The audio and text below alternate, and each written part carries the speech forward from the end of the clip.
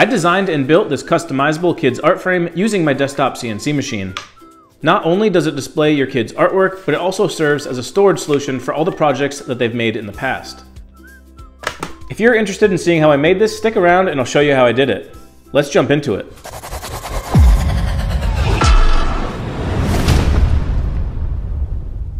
What is going on guys? Welcome back to AquaVitae Woodworks, and if you haven't been here before, my name is Justin and this is my garage woodshop. I like to design and build unique products like the picture frame that we're building today using my desktop CNC machine. In addition to building different projects, I also spend a ton of time making detailed CNC build instructions so that those of you at home that have machines can make this project yourself. My plans not only include the corresponding SVG files, but you'll also get this downloadable PDF build manual that will go over everything step by step on every aspect of this project so that no matter what your skill level is, you'll be able to build it. I don't give the files away for free. They are linked down below in this video description for sale, but I think that the price point is fair since you only need to buy them once and you can make and sell as many of these picture frames as you want. If that sounds interesting to you, check the links down below and follow along with this video as I go through this project.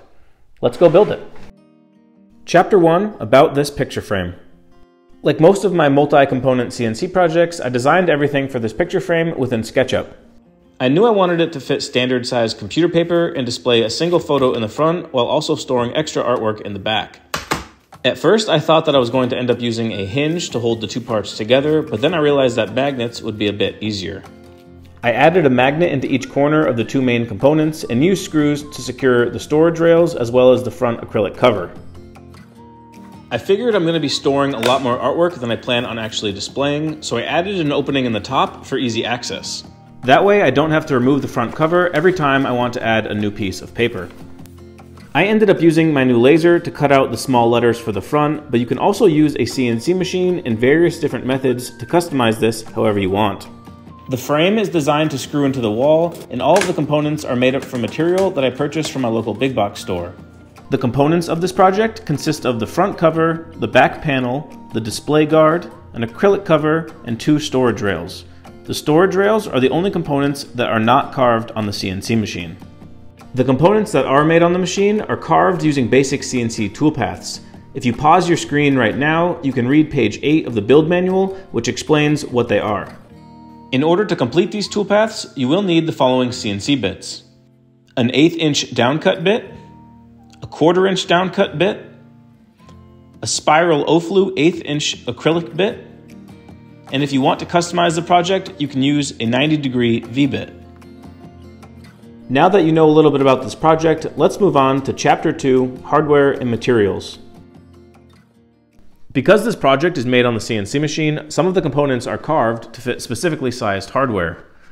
These smaller components that you see on the front cover and on the back right here are held in place with screws, which I'll put the sizes of on the screen right now. You'll also notice that there's these two small felt pads, as well as four of them on the back. Those are totally optional, but I'll also put the link to those below in the description, as well as in the build plans. The most important thing that you will need, and that's designed specifically to fit this project, are these eight neodymium fridge magnets, which I found on Amazon. These are carved specifically to fit in pockets in each corner of both the rear panel and the front cover, and are what hold the two projects, or the two components rather, together. Once you gather all your hardware, we can start cutting our wood down to size, following the cut sheet on page 5 of the build manual, so we can eventually put them on the machine and start carving out our components. I think I mentioned it earlier in the video, but all of the wood that I used for this project was purchased from my local big box store, so none of you should have any issue finding it. The only thing that I did a little bit differently than from what you might do is instead of buying eighth inch stock, I just took the quarter inch stock that I already had and planed it down to size. Once you have everything cut though, this is what you should be left with.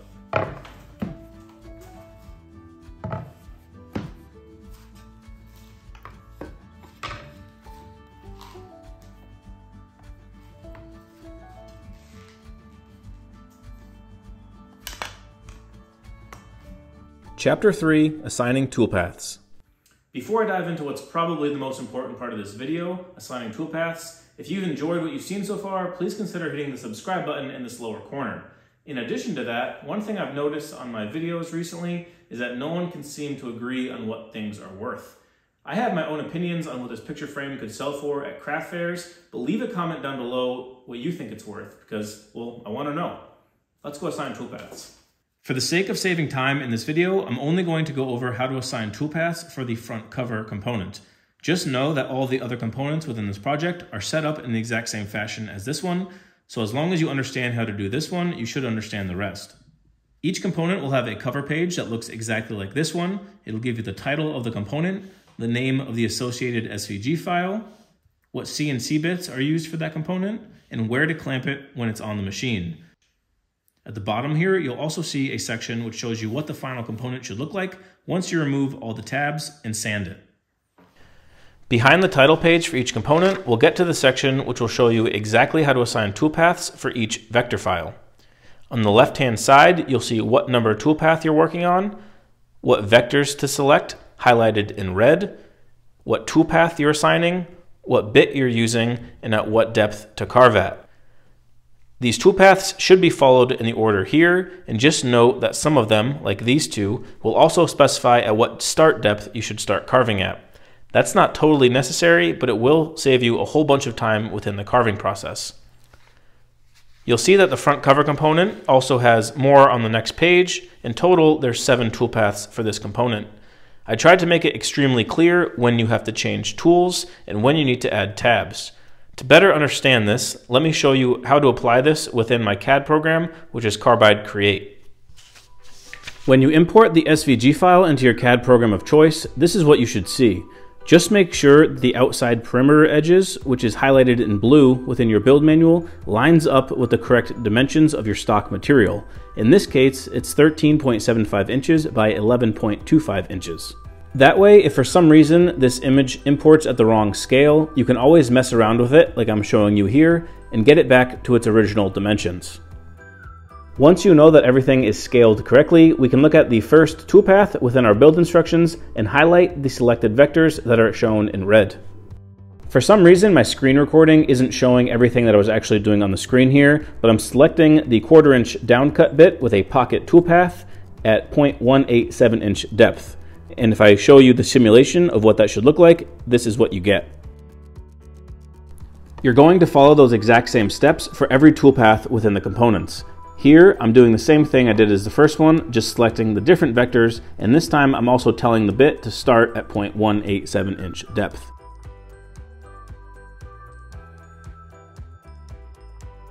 When I click on the simulation, this is what the first two toolpaths will look like combined. If I fast forward to when I've assigned all seven toolpaths according to the directions, this is what the final simulation of the front cover will look like. Hopefully that explanation was easy enough for you to understand and you can follow that same process for all of the components. Once you have all of your G-code assigned, we can move on to chapter 4, machine time. I'm assuming that since you're watching this video, you have a machine at home and you're not really interested in watching it carve. Instead, here's a musical montage which will show the clamping procedures and the final results for each component. Enjoy!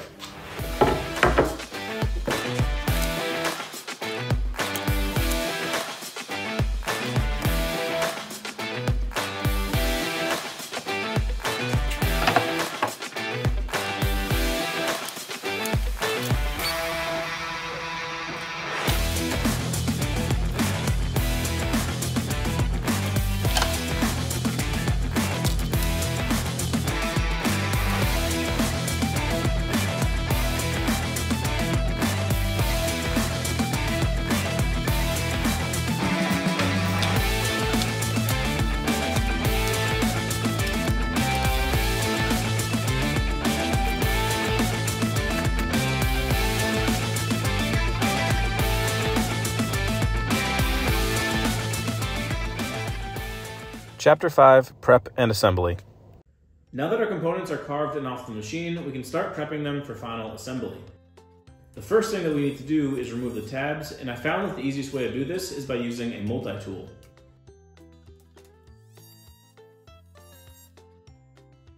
Once removed, I do go over to the spindle sander and make sure that the tabs are completely flush with the edges. You could use a flush trim bit on your router table, but I found that that's just too much setup for what's required. I do use my router table, however, with an eighth inch roundover bit on the front cover on this project. I make sure that all the edges are rounded over on both the inside and outside of the component, and also the middle edges of the actual frame. After I'm satisfied with how the edges look, I get to sanding. Because I made this from pine, I'm sanding up to 220 grit sandpaper and just focusing on the edges to make sure they don't look too rough. Sanding, as usual, is super time consuming. I'm not gonna show too much of it on the video, but just make sure that everything looks neat. I decided that I wanted to stain this project, but before I do that, I wanna countersink some screw holes into some of the components, just to make it a little bit easier once everything is stained. In order to do this, I did a dry assembly with the storage rails and the display guard, and countersunk the holes once they were in place. Once that's finished, we can move on to staining.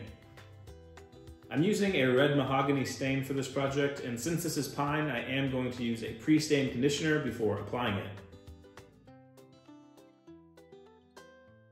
I just made sure to glove up and use a paper towel after applying the stain to make sure that everything was nice and even. I let that dry for about a day, and then I got ready to apply my varnish, which is going to be spray lacquer.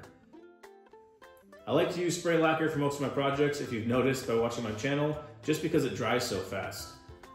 One tip that I do have for you, however, is that you should sand lightly with 800 grit sandpaper and use a tack cloth in between coats. This will just make sure that everything is glassy smooth once it's finished. Once the varnish was dry, I got ready to assemble this project, starting out with the magnets. Making sure that the magnet's polarity is lined up correctly, I used some epoxy weld to secure them into place.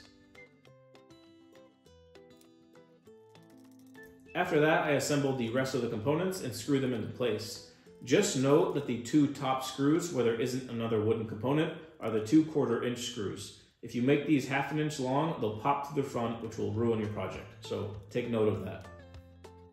I already mentioned this earlier in the video, but I chose to customize this cover using my laser. I cut out these small letters on the front, spray painted them, and then glued them to the bottom front cover here.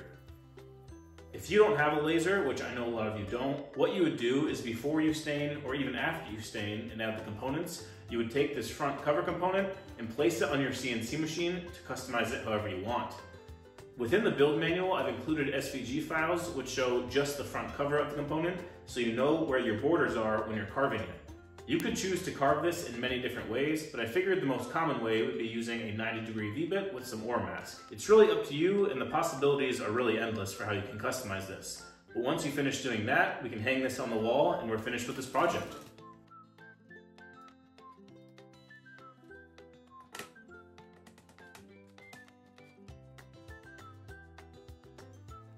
Chapter 6 Final Thoughts after finishing this project, I showed it to some friends and I already have about six orders for Christmas.